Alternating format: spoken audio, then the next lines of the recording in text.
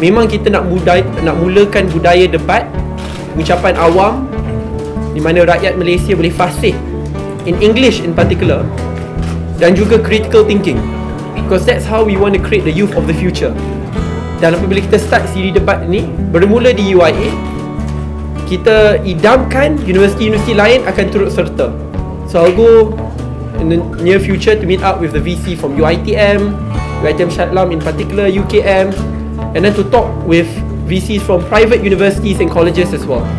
Sebab kita kena rancakkan budaya debat critical thinking in respective universities and to discuss about national issues in universities. Sebab seperti apa tadi kita dah tekankan kita tak nak anak muda atau mahasiswa hanya melihat di tepi tetapi tidak memainkan peranan dalam merangkakan masa depan. By engaging in this debate it's not only about talking but it's about engaging dialogues creating awareness on the issue.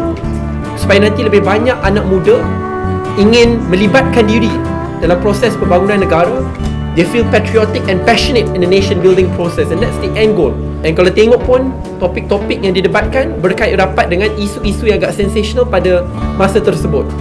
Anti-Fake News Act because of the Senate um, blocking its approval being one of the most uh, hottest discuss, uh, discussed issues in the future akan ada isu-isu lain yang akan keluar isu SST ke uh, isu berkenaan Sedition Act ke These are all things which we should discuss and which the youth must partake in the discussion.